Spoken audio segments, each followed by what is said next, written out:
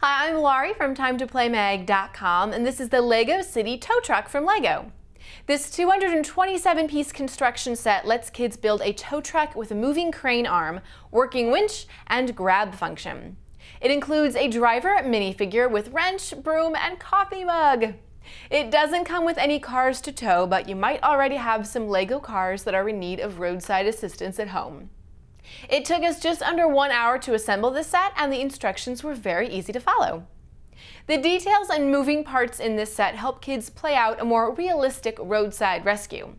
This set makes a nice addition to a LEGO City collection and engages kids ages 5 to 12 in imaginative narrative-based play. For more information such as how much this costs and where to buy, visit timetoplaymag.com or download our free app, Shop for Kids by Time to Play Mag for great information and ideas on the go.